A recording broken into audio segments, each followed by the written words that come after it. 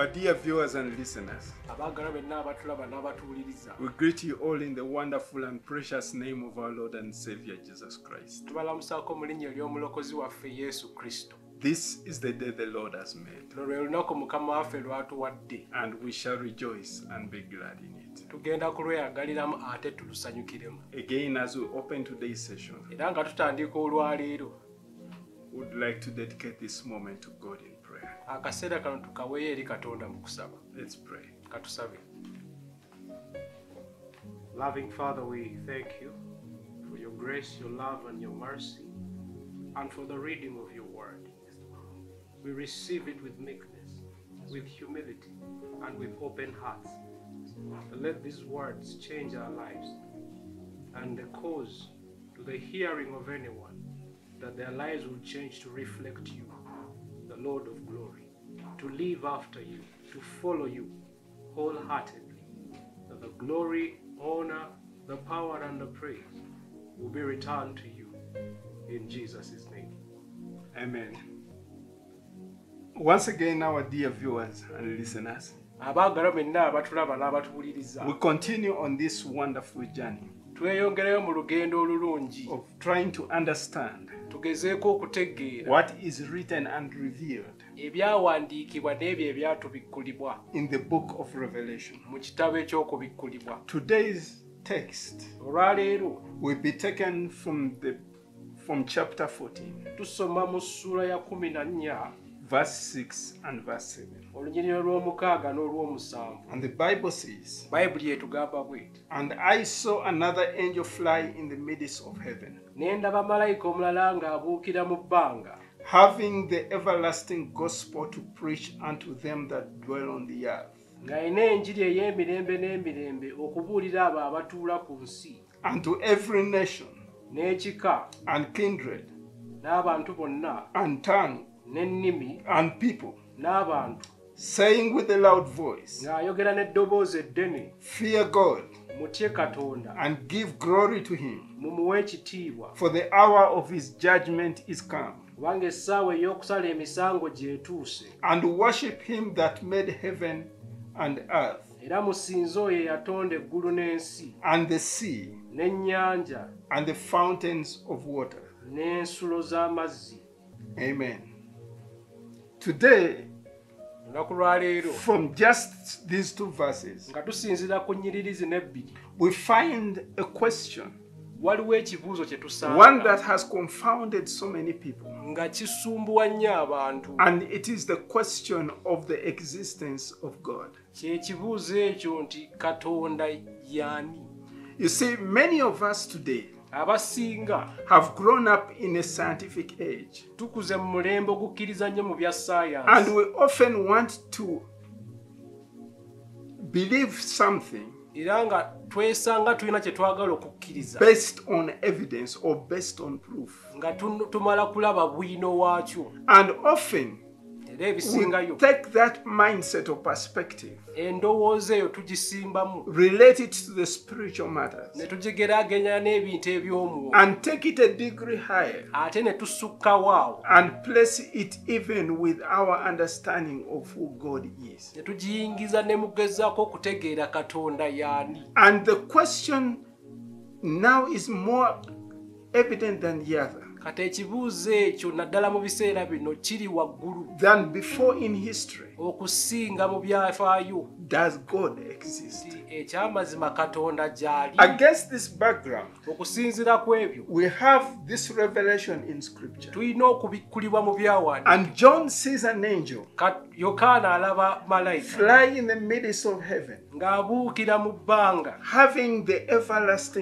ng'ayina enjiri ey'emirembe n'emirembe unto those that dwell on the earth. eri abo bonna abatuula ku nsi And he speaks upon these people that dwell on the earth. ng'ayogera eri abantu bonna abali ku nsi He says it is to everyone, nga eyo enjiri eri buli to omu every nation, buli ggwanga every kindred, buli kika to every tongue, buli nnimi and to every people. n'abantu bonna In other words, this gospel enjiri eno is eternal. ya lubeerera it, it does not have a beginning and will never have an end. teriiko ntandikwa ate terinaako kkomo And it is to be preached to every person nga yaweebwa okubuulira eri buli muntu upon the face of this earth. ku nsi kuno And the objective is what we see in verse 7. era ekigendero okisanga mu lunyiriro olw'omusanvu He continues to say, saying with a loud voice, Fear God, mutye mm. katonda give him glory, mumuwe ekitiibwa kye for the hour of his judgment is come. kubanga akaseera ak'okusala emisango gye katuuse So the first one he says you need to fear God. ekisooka abagamba mutye You need to give him glory. mumuwe ekitiibwa And why? lwaki Because he is a God that judges. kubanga ye katonda asala emisango And in time, era mu biseera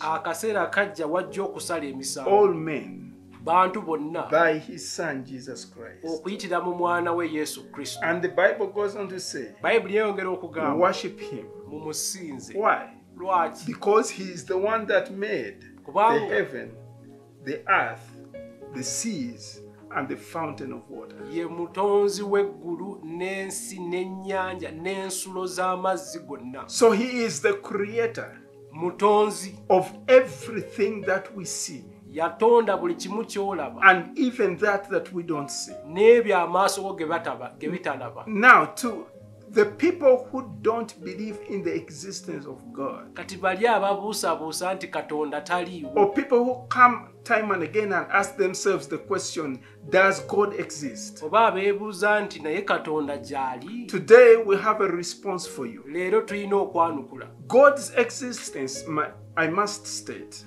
katonda okubeerawo kwa katonda is assumed bateebereza and it is not proven. ng'ate tebalina bwino obukakasa scripture tells us ebyawandiikibwa bitutegeeza in the beginning, mu luberyebedye God created the heavens and the earth. katonda yatonda eggulu n'ensi. What that means, amakulu gaakyo before time, ng'ebiro tebinnabaawo n'ebiseera katonda yaliwo. Everything that we humans perceive byonna abantu bye tulaba bye tulowoozaako are perceived in three dimensions. tubi- tubirabira mu ngeri ssatu. Matter, ebintu by'okwatako time, essaawa and space. n'ebbanga So, everything we understand, kati okutegeera kwaffe our rationality, our way of reasoning, n'endowooza yaffe our search for evidence and proof n'okunoonyereza okufuna obukakafu is within the dimension of matter, time, and space. ekolera mu bbanga bye tukwatako n'essaawa Yet, naye you when it comes to understanding God bwe kituuka mu kutegeera n'okubeerawo tegeera nti katonda taliiko kkomo. Yasooka okubeerawo ng'ebiseera God? kati w'obuuza nti katonda yatandika wa? Your a finite mind endowooza eno egezaako okutegeera katonda ali wabweru w'okutegeera kwe. agezeeko munyigiriza mu biseera. amutegeere mu kutegeera okwo okw'ebiseera. Obuuza naye katonda aliwa You're trying now to bring God kati katonda ogezaako okumunyiga. into the confinement of space. omunyigire mu kaseera ako ak'ebbanga. When you begin to ask, What is God made of? or How does God look like? obuuza naye katonda yatondebwa ki oba afaanana ki Our minds run to matter kati endowooza yeto- erowooza ku and we try to bring an infinite God n'okwata katonda ali wabweru w'okutegeera into the box called matter that we try to understand with a finite mind. ogezaako omutegeera mu bino by'olabako by'okwatako Now, that cannot happen. tosobola And that is where we often find ourselves come short. kati awo tulemererwa nnyo we tutuuka So we need to look to several things that we understand tulina okubaako ebintu bye tulabako bituyamba as pointers ng'ebitu- ebisonga to the existence of God. ebisonga ku katonda nti gy'ali Now, science kati or bannassaayansi scientists have a belief balina enzikiriza of the law of cause and effect. ery'etteeka ery'omutandiisi n'ebibaawo So they believe that everything that we see ti byonna bye tulaba has a cause birina omutandiisi and then they have an effect. ne waliwo ne biryoka bibaawo That is where we get the sentence, because, the word because in the sentence. bw'ojja ekigambo ekyo nti olw'ensonga eyo So you're doing something because okola ekintu olw'ensonga it is, be is the where we get being. ekyo ekigambo ekyo nti wekiba nti okubeerawo Cause is what brings it about. n'ekireetera ekintu okubeerawo So everything that we do byonna bye tukola comes into this scope. kati tubinyigiriza mu kutegeera okwo And many of us abasinga in our walk of faith naddala mu kutambula have okukkiriza been met by men and women of all kinds of life, tusisinkanya abantu ab'ekika kyonna asking us to prove nga batubuuza tuleete obukakafu that God nti exists. katonda gy'ali Now, we need to understand that to a certain degree, tegeera nti mu kigero ekimu we can bring evidence. tuyinza okuleeta bwino But at the end of it all, it comes back to the person naye ku nkomerero ya byonna kiddira eri omuntu to either believe okusalawo okukkiriza or not believe. oba okugaana okukkiriza So, let's look at a few examples. katubeeko bye tulabako Why do we believe that God exists? lwaki tukkiriza nti katonda gy'ali When we look at all creation, bwe twetegereza ebitonde byonna. There is a hunger within them. mulimu okuyaayaana And especially when it comes to mankind, naddala eri abantu. There is that incurable appetite or search within them mulimu ennyonta eyo okunoonyereza munda mu ffe for a being that is above us. okunoonya okutegeera omuntu oyo asukkuluma okutegeera This is our mortal condition that we find ourselves in. Eno embeera yaffe eriko ekkomo. A longing for something beyond this life. naye tuyaayaanira ekyo ekisukkuluma obulamu bwe tulina buno. It is unmistaken, tosobola kibuusabuusa and we cannot live kati tosobola kubeerawo. without having to actually acknowledge that that exists. nga tonnaba kutegeera amazima nti waliyo omuntu oyo. To deny that okwegaana ekyo is is to under, is to deny the inevitable. kiringa ggwe okwegaana ebiteegaanika. And many of us struggle with that. Era abamu kitusumbuwa nnyo. But the reality is it is something that we cannot escape. Ekyo ekintu tekyegaana and for many of us we use our depraved mind kati abamu tusinzira mu ndowooza zaffe ezakyama to try and figure out our inherent foreign nature. Embeera yaffe obuntu buno obwagwo obwakyama okusinzira okwo okutegeera. To try and with our minds nga tukozesa endowooza zaffe. figure out what is infinite. Okugezaako okuzuula ekyo ekisukkuluma okutegeera kwaffe. And because we are not neutral in trying to interpret this kubanga tetulina tetusobola kukizuula nga tetulina often we come to a point in life weesanga mu bulamu buno. where we use our corrupted reasoning nga tukozesa endowooza ebirowoozo ebyakyama that is bent on the natural nga ffe tusu- tu- tu- twalemerayo ku bino bye tulaba n'amaaso. to justify what is spiritual and beyond our scope of what we can see, hear, taste, feel. Okugezaako okutegeera bino bye tulaba bye tusobola okulegako n'ebyo bye tuwuliriza with our natural senses. n'endowooza zaffe zino oba obutonde bwaffe So, what should the response be? kati kwanukula kuliwa wano Before I come to the response, nga sinnaba kwanukula I need to point out two seemingly religious thoughts that come to our minds. nina endowooza bbiri eziringa eze- eza ddiini ze njagala okwogerako But in actual fact, they don't subscribe to the what I'm trying to talk about today. naye nga wozeetegereza tezinyweza ekyo kye ngenda What okwogerako we leero. believe about God from a Christian perspective. naddala bye tukkiriza ebikwatagana ku katonda ng'aba- ng'abakristaayo ekisooka one that believes that God is a creator, yes, bakkiriza nti katonda mutonzi but he is transcendent. In other words, he's outside of his creation and impersonal.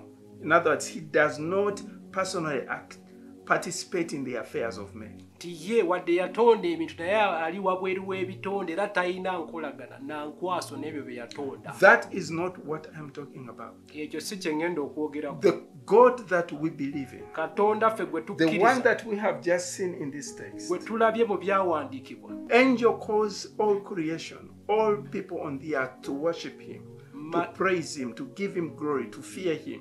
malayika agamba abantu ab'oku nsi okumusinza era okumuwa ekitiibwa. All these are doable verbs, bino byayogerako bintu calling for an interaction between God and man. biyita abantu okuba n'enkolagana wakati, waabwe ne katonda That is what, in the th- philosophical terms, we call deism. Now, there is another process waliwo enkola endala where they believe in a God who exists within and as the creation itself. bo bakkiriza nti katonda kitonde ate naye ali wamu The n'ebitonde philosophers call that pantheism, E, bakiyita ekigambo ekyo but forget the terms. What they're trying to say ebigambo tebikutiisa kye bagezaako that all is one and one, all is God. Nti ebintu byonna biri wamu ate byonna katonda So, you, me, the trees, the rocks, every one of us, nti gwe nze enjazi byonna wamu we form God. ffenna wamu ye katonda That, that is not what the Bible states. ekyo bayibuli si The Bible calls for the creation to worship the Creator. bayibuli eyita ekitonde okusinza omutonzi So we need to understand that. Oteekeddwa okwawula And then there is the big one that I'm going to talk about the what we call atheism, the people that don't believe that God exists. tulina ne bano bo tebakkiriza nti katonda gy'ali So they belong to two categories. bagwa mu bika The bibiri first category are those that are in outright denial. abasooka bo bawakanya babuusabuusa They don't they deny God's existence. tebakkiriza nti katonda gy'ali So why such people exist? There are others who they believe God does not exist, waliyo ne bano bakkiriza nti katonda taliiyo but they will place the burden of proof for God's existence on you, the believer. naye kati banoonya gwe omukkiriza ow'ebwino nti katonda gwe babuusabuusa gy'ali So the question I ask, ekibuuzo kye nkubuuza why do you spend your time lwaki omala ebiseera byo? Denying okwegaana. what you believe does not exist? Ky'o- ky'obuusabuusa okkiriza nti kyo tekiri. So if, why do you come to a believer? Kati lwaki onoonya abakkiriza? And say, okay, prove to me that God exists, nti mpa bwino nti katonda gw'okkiriza gy'ali. Yet you don't believe he exists? ng'ate gwe okibuusabuusa nti tali So why spend all your life lwaki omala obudde fighting a being whom you know does not exist? ng'olwanyisa n'okuwakanya omuntu oyo gwo- gw'obuusabuusa Therefore, that in itself is self-defeatist. ekyo nakyo oba we- weeremesezza wekka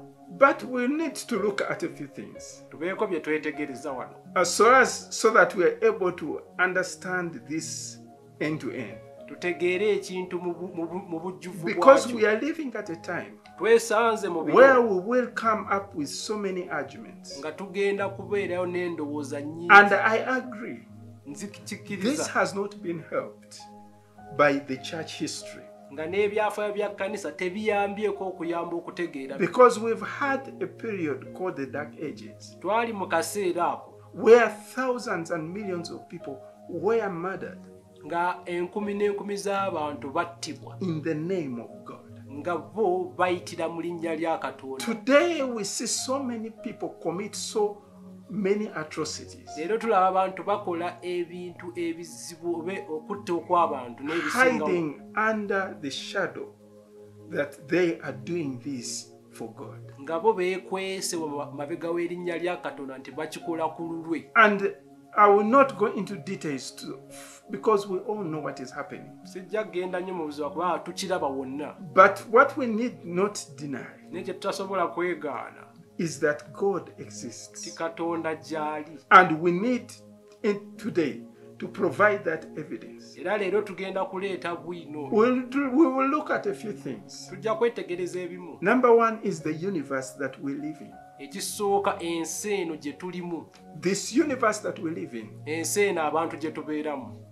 uh, is evidence that God exists. obwo bukakafu nti katonda You jja see, we have billions of planets, tulina ah, tulina ensi eziri wabweru w'ensi yaffe eno. And they are all moving in space. ziri mu bwengula nazo zitambula. When you look at all this order, bwe enkola eyo they point to a first cause, ekulaga nti waliwo omutandisi. They point to a being kabonero nti waliyo omuntu that is responsible avunaanyizibwa for their coming into existence. olw'okubitonda.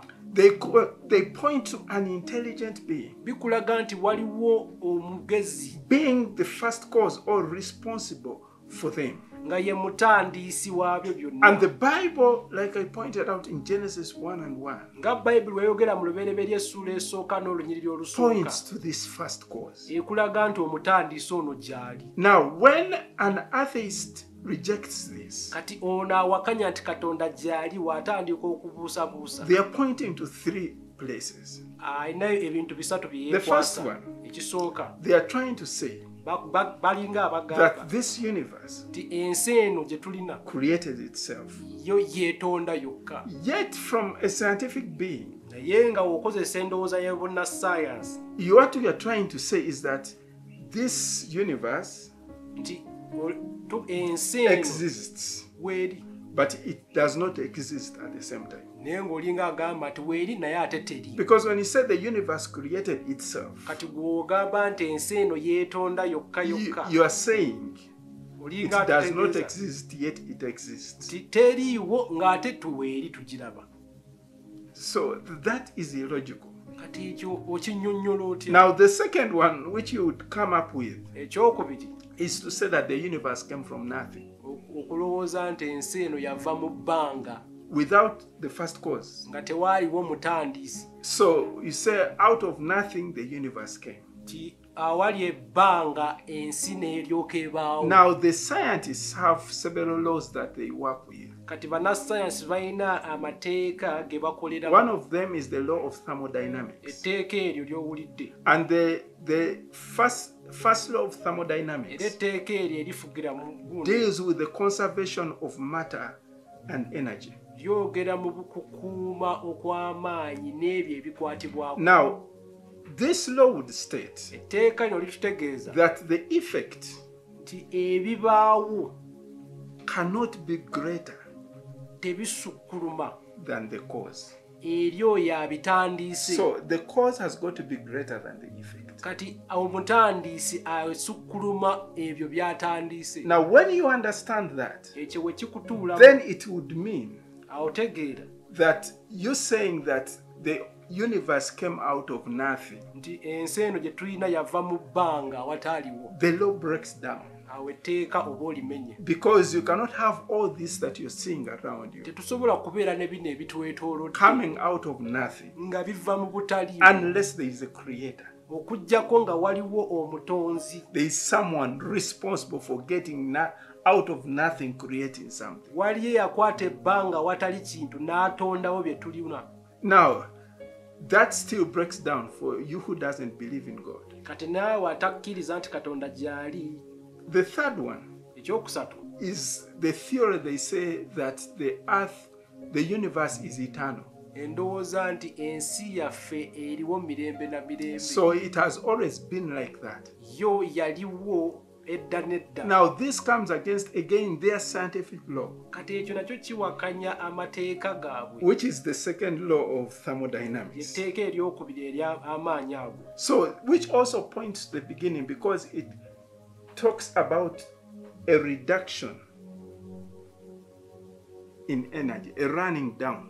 kati tuddayo eri mu lubereberye kikulaga nti waliwo e- buli kintu kirina ekkomo So, if we use the chain of cause and effect, kati bwe tukozesa etteeka eryo nti waliwo omutandiisi n'ebyo ebiriwo. You cannot have this as infinite. kati tosobola kitwala nti kino kya lubeerera. So, it comes back to this. Tuddeyo. There is a creator. Tulina omutonzi. Whom the Bible talks to us about. bayibuli emututegeeza bulungi that He is the creator of heaven and earth, nti ye mutonzi w'eggulu n'ensi the sea and the fountains of the waters. ennyanja n'ensulo z'amazzi gonna. Now, there is also another point that is advanced, which is the second one.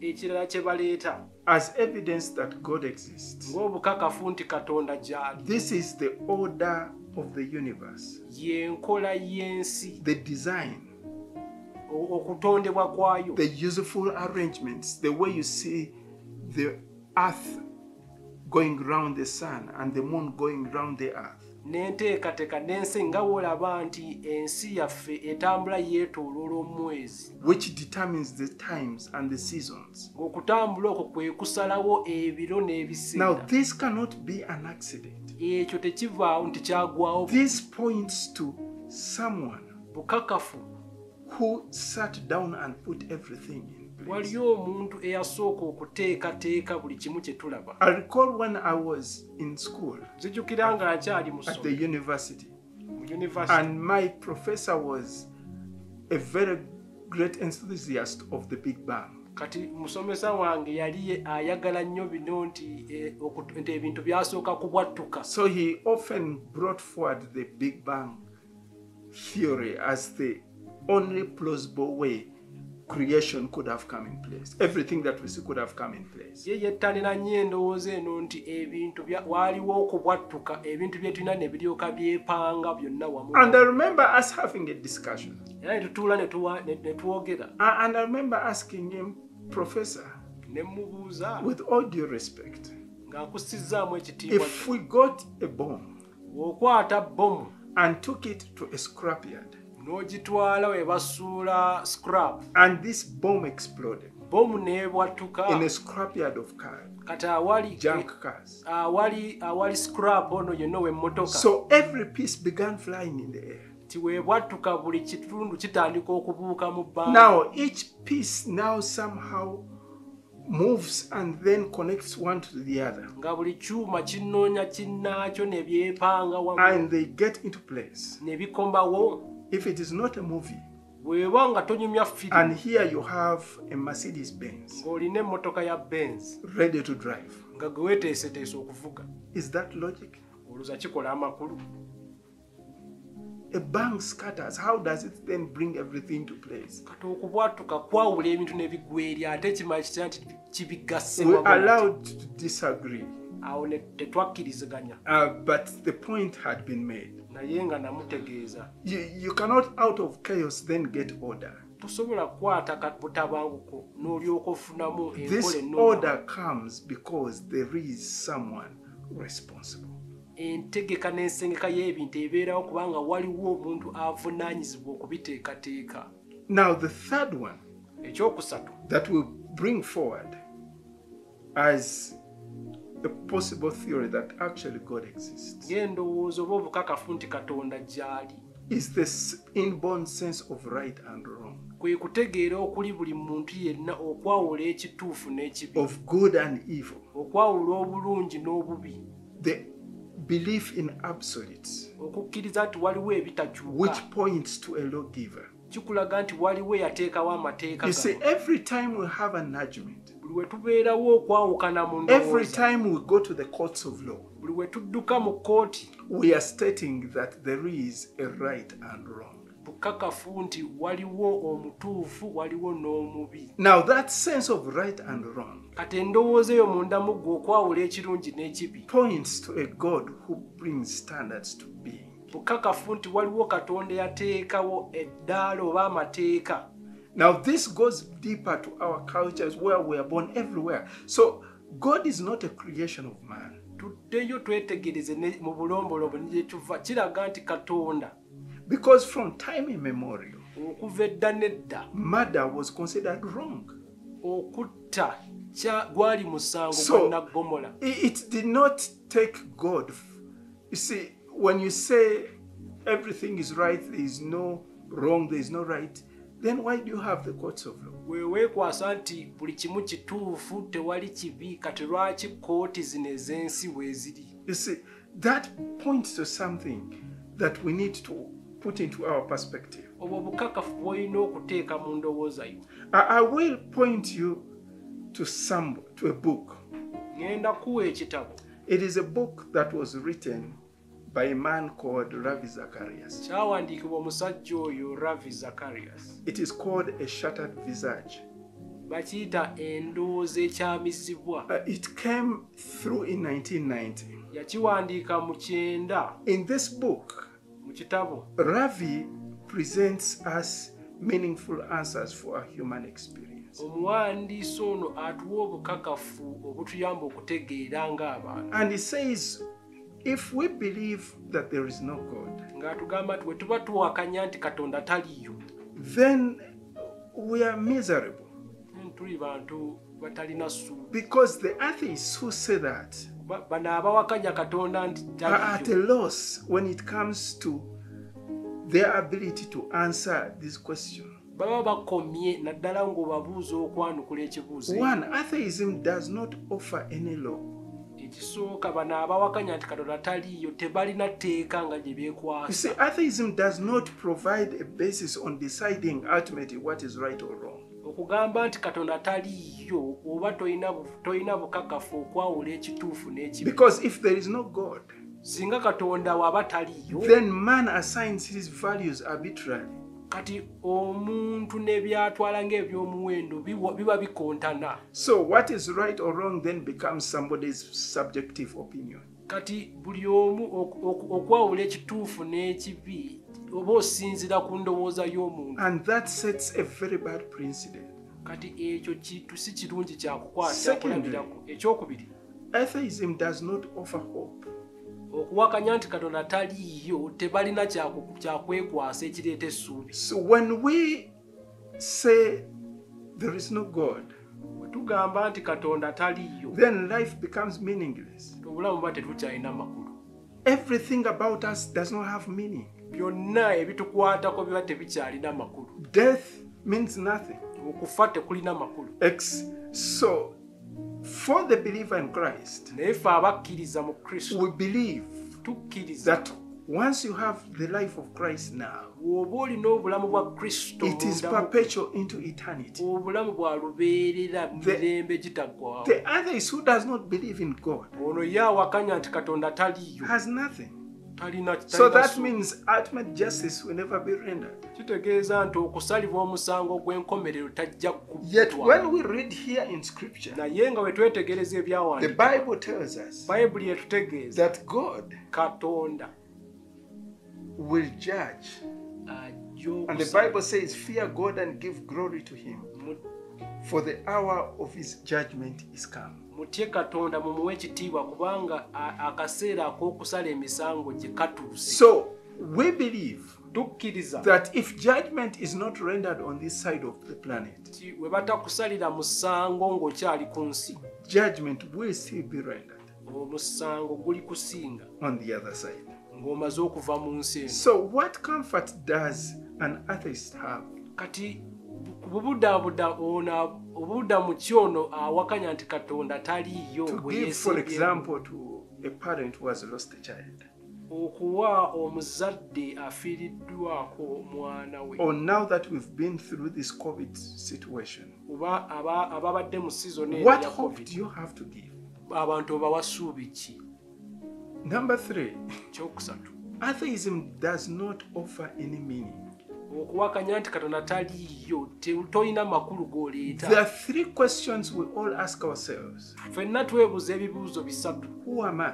nzaani Why am I here? lwaki ndi Where wano am I going? ŋŋenda wa Without God, nga katonda you taliiwo cannot answer those questions. tosobola kubiddamu Everything is purposeless, byonna biba tebikyalina everything is hollow. byonna tebirina makulu Your existence n'okubeerawo kwo has no bearing whatsoever. Tekulina kuluŋŋamizibwa kwonna. So, where does that place you and I? kati gwe nange kituteekawa wano. You and I have to come to a point tuddeyo. where we place our faith tuteeke okukkiriza kwaffe in the existence mu kubeerawo of God.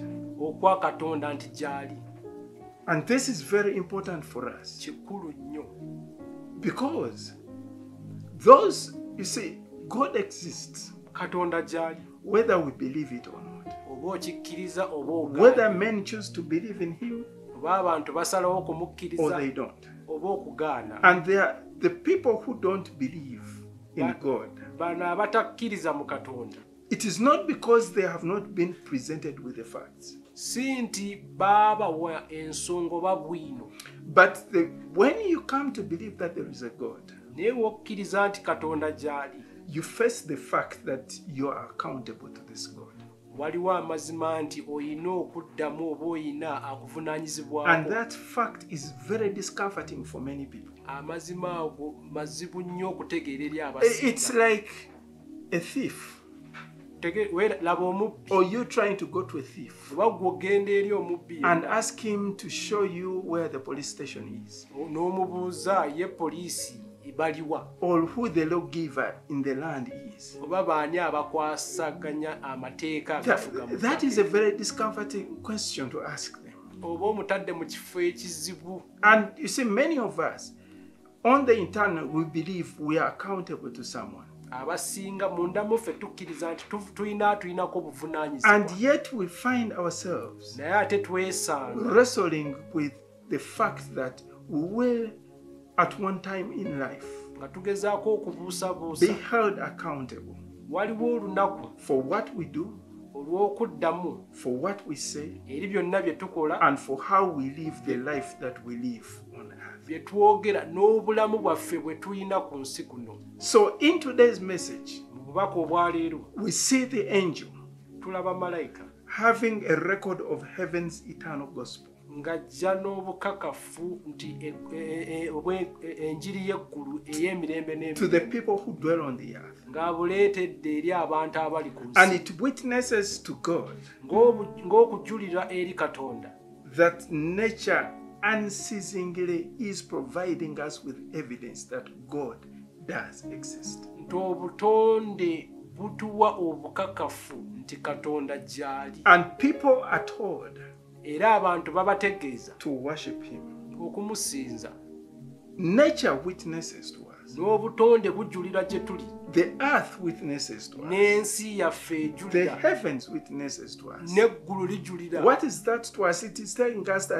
Everywhere we turn, nti yonna gy'otunuulira there is a witness waliwo omujulizi to the existence of God. ajulira ku katonda nti gy'ali The psalmist in Psalm 19, zabbuli 19 verse 1 and 2, n'olunyiriri olusooka n'olwokubiri this way He says, The heavens declare the glory of God, nti ensi eyogera ku kitiibwa kya katonda the firmament shows his handiwork. ne byonna ebiri mu nsi biraga emirimu gye Day unto day Buli he utters lunaku. speech, and night unto night reveals knowledge. n'ekiro ayolesa amagezi ge This points our own nature ekyo kituleetera ffe mu butonde bwaffe presents us the fact that God does exist. ng'obukakafu nti katonda gy'ali It is saying there is God. Bakutegeeza katonda gy'ali Without him we cannot exist. bw'aba taliwo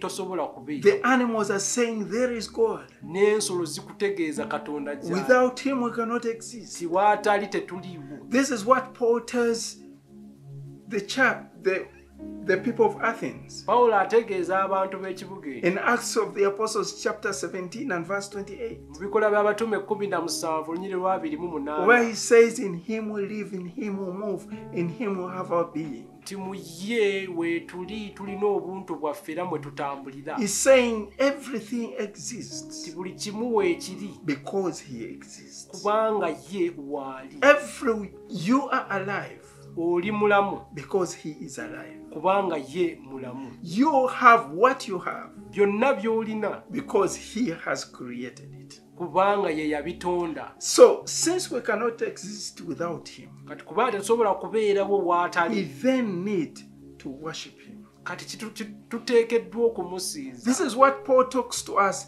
in Romans chapter 1. pawulo ayogera bw'ati mu baluumi essuula esooka Verse 9, he says, What may be known about God is made plain. bye tutegeera eri katonda byoleseddwa In other words, God has made plain the things katonda atulaze mu that He has created. ayolesezza ebyo byonna And by'atonze the things that He has created point to Him. era byonna by'atonze bijja gy'ali So this becomes to us the basis of ultimate judgment of mankind. kati bufuuka omutendere oba kato wetugenda okusalirwa omusango ffenna. So God will say to us and to others, if you knew that I was essential to you, naddala bali abatakkiriza nti gyali nti wewategeera nti ndi kyamazima ndi mukulu gy'oli. singa wategeera nti mu nze oli mulamu olina obutonde bwo ate otambulira mu nze lwaki wagaana okunsinza? That is the gospel ekyo yenjiri by which all men will be judged. abantu bwe bajja okusalirwa omusango Now, to this day and age, paka mu biseera bino the only way to this God en- enkola emu yokka okutuuka eri katonda through Jesus Christ. kuyitira mu yesu He kristo. is the way we know and experience God. lyekkubo lye tumanyi n'okutegeera n'okulega n'okumanya nti katonda gyali. There is no other way. teriiyo kkubo ddala. And this only happens when we surrender our lives to Him. Kati tubitegeera nga tumaze okuwaayo obulamu bwaffe gyali. And make Him the Lord and the Savior of our ne lives. tumufuula mukama ate omulokozi w'obulamu bwaffe. That is only when ekyo kyokka. we're able to worship Him, awo we tusobola okumusinza. God, katonda as He desires, nga bw'ayagala in spirit and in truth. okumusinza mu mazima ne mu mwoyo Short of that, bwe kikulema anything else will come. byonna bijja kukutomera We can bring our arguments on the table. ojja kujja n'empaka zo We can bring our scientific explanations on the table. ojja kuleeta bwino wa sayansi We can bring our philosophy on the table. n'endowooza zo z'olowooza We can ask the questions, tubuuze ebibuuzo but byonna it will still come back to this. naye bitusonga wano Does creation ebitonde point to a first cause? bitulaga nti waliwo omutonzi If the answer is yes, ekibuuzo wabanga which weewaawo indeed it is, nga mazima nti kituufu have you known him? omumanyi If you say, I don't know him, oba ogamba nti tomumanyi Jesus is the way to him. yesu lyekkuba erikutwalayo So if you are watching us today, bw'atulaba leero have never given your life to Jesus, nga yesu tomuwanga you've never made him your personal Lord and Savior, tonnamufuula mukama ate omulokozi right now, kaakano. it can happen. osobola okusalawo. Why don't you pray with me? tusabire wamu. We are all sinners. Ffenna twayonoona. Saved by grace. ekisa kye The kyatulokola Bible says, All have sinned and fallen short of the glory of. Bayibuli egamba bonna baayonoona ne beesanga nga bali wansi tebaatuukirira ekitiibwa kya. Romans 6:28 says, The wages of sin is death.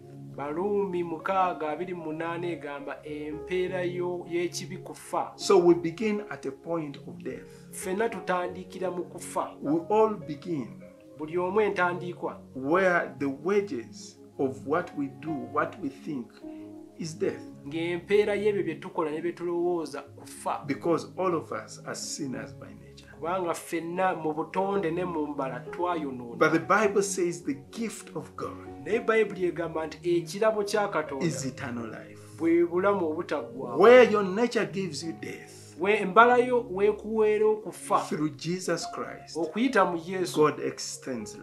Katonda akuwa obulamu munda mu ekyawandiikibwa tukimanyi ffenna. First John chapter 4 12. baluwa ya yokaana esooka olunyiri lwokuna It olunyiri lwa says, kumi He na who bbiri. has the Son oyo yenna alina omwana alina obulamu. Nkubuuza omwana omulina? Omwana ow'obulenzi ye yesu kristo leero we can pray. tusabe And you can ask God katonda omusabe to send this Son in your life aweereza omwana we mu bulamu that you may have eternal life. olyoke oweebwa obulamu obutaggwa Why don't you make this prayer with me? lwaki tetusabira wamu Say, God of the heavens, gamba nti katonda w'eggulu the creator of the universe, omutonzi w'ensi the first cause without cause, omutandiisi w'ebintu byonna. You who creates everything that we see and know and that what we cannot perceive with our senses. eyatonda bye tumanyi bye tulaba n'ebyo ebisukkuluma okutegeera kwaffe. I believe nzikiriza. that you sent your son Jesus Christ nti watuma omwana wo ow'obulenzi yesu to kristo die in, for sinners, okufiirira ababi of whom I'm one. nga nange nali omu ku I come to you once more, nzize gy'oli mukama as a sinner. ng'omwonoonyi Forgive me, Lord. nsonyiwa mukama Wash me, Lord. naaza mukama Cleanse me, Lord. mukama ntukuza Purify my heart. tukuza omutima gwange Fill me with your Holy Spirit zijjuza n'omwoyo and omutukuvu lead me era omukulembere to live this life okutambula mu bulamu buno purposefully nga nina ekigendererwa according to your grand design. okusinziira ku kusalawo kwo Write my name erinnya lyange liwandiike kitabo eky'abalamu. Mukama weebale. Kubanga ondokodde Amen. amiina You have been wonderfully saved. If you made this prayer from the bottom of your essala oba ogisabye okuva munda mu mutima gwo God, by His Spirit, katonda okuyita mu mwoyo has come azze and made His home in you. era atuula munda mu ggwe. There is a number on the screen. ennamba eri awo ku sikuriini Please call that number. tukubire. Tell us tutegeeze what has happened to you. kiki And ekikubadde you will be guided era tujja kuwa okuluŋŋamizibwa mu bigere ebisookerwako. mu lugendo luno olulungi. olukomekereza mu, mirembe n'emirembe. I'm ngenda kusaba. with someone that is stuck in the middle of nowhere. nga oli mu masaŋŋanzira. And we'll pray with you. Tugenda kusabira wamu Who is suffering from that debilitating disease? bw'olina ekirwadde ekyo ekikumalawo I'm going to pray with, you that is bound, nina kusabira oyo that is not making any progress or headway in life. toyina totambudde okomye You want to make a step forward, but you seem to be making two steps behind. oyagala okweyongerayo naye weesanga oddiridde You mabega don't see any progress in your life whatsoever.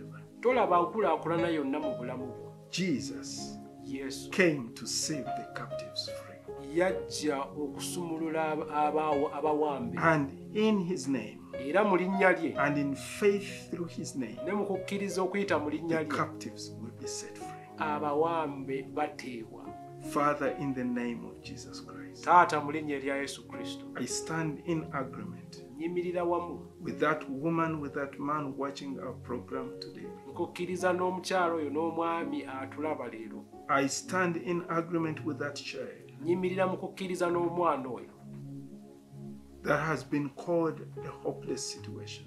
gwe baayita nti ye talina biseera birungi. King of glory, kabaka I pray in the name of Jesus Christ. saba mu linnya erya yesu kristo Because you said in your word, kubanga oyogera mu kigambo Behold, I'm the Lord, the God of all flesh. nze mukama katonda waabo bonna abalina Is there anything too hard for me? waliyo kye sitasobola Lord Jesus, mukama with yesu you nothing is impossible. wamu naawe teri Therefore, kitasoboka in your name, Lord, mu linnya lyo we come against every force of darkness tuwakanya amaanyi that is holding these people, that abantu preventing them from reaching out to their destiny, agabalemesa okuyigira amagenda that is holding them from getting to where you have destined them to be. okugenda eyo gye wabateekateekera In. Jesus' name, I break its hold over their lives. linnya erya yesu mmenya amaanyi agabakutte I come against every spirit of darkness, every retrogressive spirit, I command you to lose your hold over the people of God. In the name of Jesus Christ, the Son of the Living God, I speak freedom now. To every part of their body, eri buli kitundu ky'omubiri to every affairs of their life. eri byonna ebibakwatako In the name of Jesus Christ, mu linnya erya yesu I kristo break every curse upon them. menya buli kikolimo Be set free now. In Jesus' name. mu linnya erya And Lord, your word declares that you are the God who forgives all our sins. And heals all our diseases. Your word, Father, declares that by the stripes of Jesus we are healed. kyogera nti olw'emiggo gya yesu Therefore, I speak to that one with an infirmity, njogera ero yonna the one with a sickness and a disease. Oyo yenna omulwadde Be healed in the name of Jesus Christ. wonyezebwa mu linnya erya yesu Be Kristo. healed in the name of Jesus Christ. owonyezebwa mu linnya Be erya yesu healed in the name of Jesus Christ. owonyezebwa mu linnya erya yesu Jesus Kristo. heals you yesu now. akuwonya kati Seleko siento sikaribanta sikaya. Thank you, Holy we Spirit. mutukuvu webale We count it done. tukibala And we give you ng'ekikoleddwa praise, honor, and glory. tukuwa ettendo In n'ekitiibwa Jesus' name. mu linnya erya yesu Amen. amiina And amen. Please call that number. namba eyo gikubeko Tell us what God has done in your life. tuwe obujulizi katonda Share byakoze this testimony. gabana wamu n'obujulizi And together, wamu ffenna let's give glory and honor and praise to God katonda tumuwe ekitiibwa n'ettendo for the marvelous things that He has done in your life. olw'ebirungi byakoze mu bulamu bwo Finally, nkomerero now that the churches are open, amakanisa nga bamaze okuba why gaggulawo don't you join us? tukusaba ojje tusinzize wamu. Tujje wamu tusinze katonda waffe. tutendereze erinnya tumugulumize. You. mukama abawe omukisa. So, till next week paka we tonaddamu from Dominion Church, kuva mu kkanisa ya dominio we say, God mightily bless you. katonda abawe omukisa. Shalom. mirembe